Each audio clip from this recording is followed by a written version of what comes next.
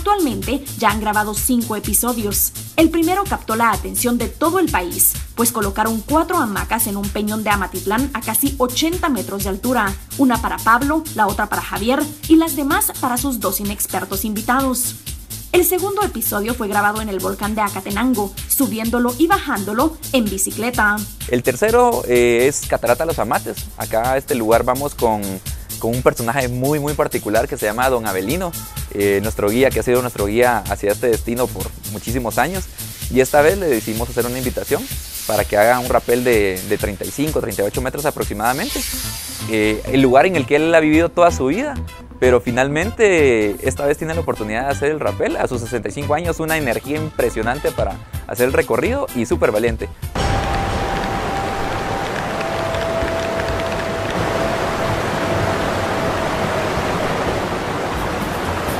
El cuarto episodio se realizó en el Cerro Mirandilla, una roca reconocida camino al puerto de San José, donde escalaron una gruta de más de 18 metros de altura para acampar en la cima. El quinto y último episodio, uno de los más arriesgados, fue publicado hace unas semanas. Se realizó en uno de los cables más largos de canopy de la reserva de Atitlán, donde colocaron tres hamacas y pasaron la noche acompañados de un impresionante paisaje.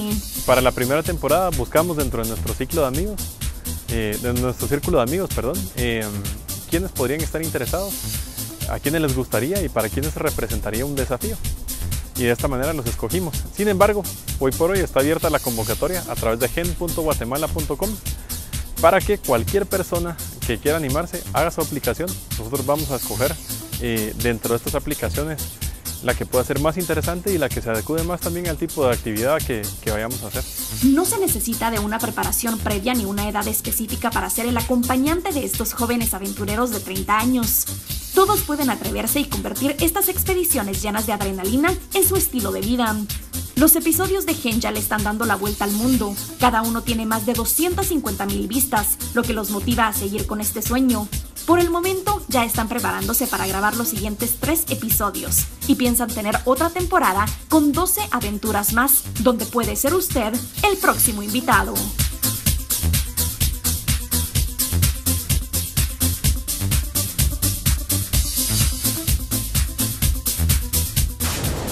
Vamos a estar pendientes de todas sus aventuras. Bueno, y fíjese que ahora tenemos que hablar también de un hallazgo que se hace y que es exhibido en Egipto. Si es que el Museo Egipcio del Cairo está mostrando por primera vez la primera escritura del antiguo Egipto encontrada en un papiro que detalla los trabajos llevados a cabo en la Gran Pirámide de Giza. Así anunciaron los funcionarios de antigüedades que no dudaron en calificar esto como la más antigua escritura egipcia. Bueno, fíjese que ahora lo vamos a llevar a un café temático en donde los clientes cenan sopa de albóndigas cocinada en inodoros. Esto quizás no puede ser la mejor idea de alta cocina, pero los indonesios están reuniendo alrededor de este local sentados del Hamban Café en tazas de baño en lugar de sillas convencionales. Para quienes encuentran que la experiencia es demasiado nauseabunda, hay una bolsa que cuelga junto a la entrada para las deposiciones. Otros lugares como Taiwán y Rusia tienen restaurantes similares, pero la versión modesta de Indonesia tiene una diferencia clave que tiene como objetivo educar a la gente sobre el saneamiento y fomentar un mayor uso de los inodoros. Bueno, le vamos a mostrar un video que está causando furor en redes sociales y tiene que ver con un loro que ha ganado fama por los videos que su dueña sube a YouTube. Ha vuelto a conquistar a sus fanáticos con este video que ya le está dando la vuelta al mundo y cuenta con más de 400 mil vistas. Las imágenes muestran cómo el ave recibe un pequeño recipiente, dos pedazos de brócoli para que coma, pero al parecer esa verdura no es de su favorita y la rechaza tirando todo al suelo. El acto es repetido una y otra vez hasta hasta que Eric tira pedazo por pedazo del brócoli que va separando con su pequeño pico. Y estas son las imágenes que le dan la vuelta al mundo. Nos vamos a una pausa y regresamos con más. Y al cierre, acompáñenos a examinar sin reservas lo que hay detrás de un fenómeno que mantiene bajo temor y zozobra a miles de guatemaltecos. Hablamos de las extorsiones, el sicariato y la matanza a choferes.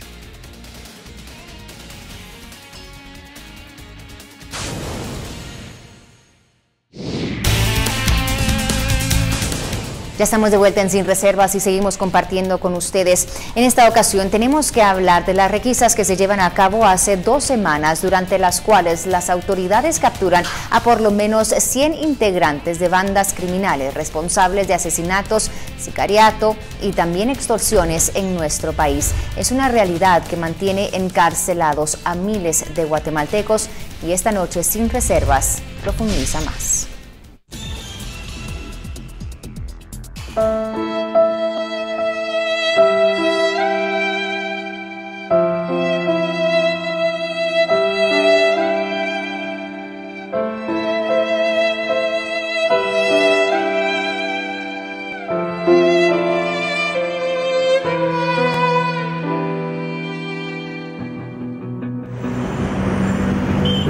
Realmente alarmante. Ya van eh, desde el año 2010 al mes de julio de 2016 cerca de 2.135 personas asesinadas vinculadas al tema de transporte público.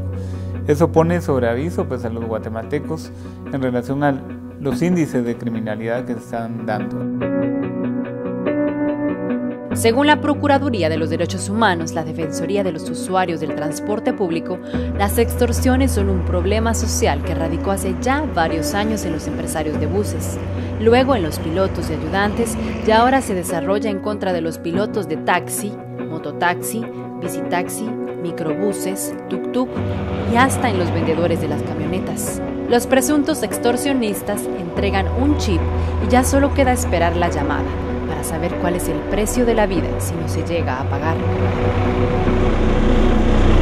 Por ejemplo, en ruta 3 y 4, que se exigen un grupo, que ahí tienen tres grupos aparentemente extorsionistas, uno les cobra 150 quetzales diarios por unidad de transporte, estamos hablando de cerca de 50 unidades. Luego los, en los días martes les cobran 350 todos los martes, otro grupo, y el siguiente grupo les cobra 350 todos los jueves. Aquí estamos hablando de cantidades millonarias al año. Aparte de ello, en esta ruta les cobran eh, de bono 14, les cobraron 2.400 quetzales. Les dieron la facilidad de hacerlo en dos pagos, una de 1.200 y el otro más recientemente de otros 1.200 por unidad de transporte público.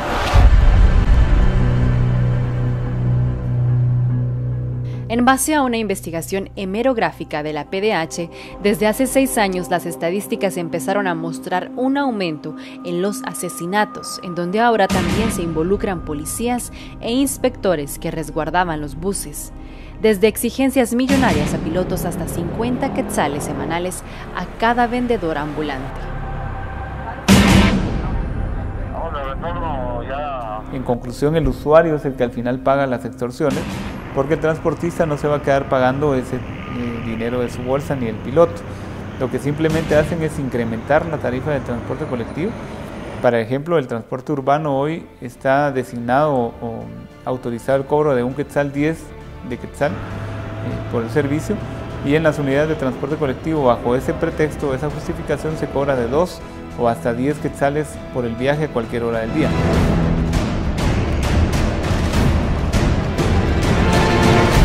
Edgar Guerra afirma que al año los pilotos y el transporte colectivo pagan 275 millones de quetzales a extorsionistas.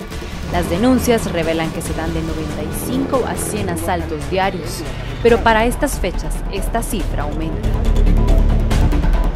Se triplica o cuadruplica en el mes de julio, cuando es el pago del bono 14 laboral, en donde se dan cerca de 300 a 400 asaltos diarios a nivel de toda la República, y ese es un subregistro. Son datos que los mismos pilotos de transporte en las diferentes rutas y empresas de transporte, tanto urbano como exurbano, eh, dan o facilitan y al hacer la sumatoria llegamos a este número que significa que puede ser más la cantidad de asaltos. Y en los muertos los siguen poniendo los usuarios en primer lugar por dos tipos de hechos. Al oponerse a ser asaltados también pues eh, son atacados violentamente en algunos de los casos y por balas perdidas en el tema de extorsiones. Del 2010 a la fecha han sido asesinados 573 usuarios de buses, 561 pilotos de buses urbanos y extraurbanos, 236 ayudantes, 84 presuntos asaltantes, 27 empresarios, 165 pilotos de taxi, 175 pilotos de microbús, 286 pilotos de tuk-tuk y 28 policías que resguardaban el transporte público, lo que hacen un total de 2.135 asesinatos a causa de las extorsiones y asaltos a las unidades de transporte. Según información de los transportistas, se tiene que han decidido, al menos en dos gremiales de transporte exurbano, eh, de acuerdo a los, a los mismos agremiados, eh, pagar las extorsiones. O sea, si hay algún tipo de números eh, más bajos en cuanto a cantidades de personas muertas o ataques en este año 2016, probablemente se deba a que los transportistas en su desesperación han preferido pagar la extorsión y no necesariamente por accionar del Ministerio Público y de la Policía Nacional Civil.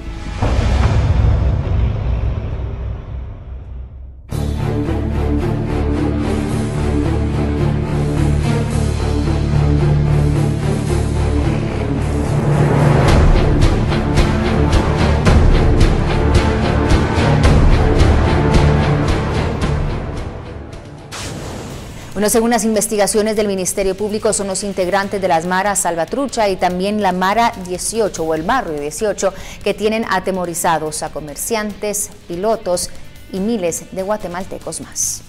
Con esto finalizamos esta noche. Gracias por habernos acompañado. Esperamos eh, que usted descanse y recuerde que tenemos una cita este próximo viernes.